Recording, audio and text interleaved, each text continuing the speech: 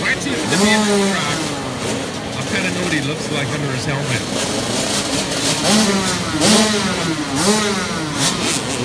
Haven't seen his older brother.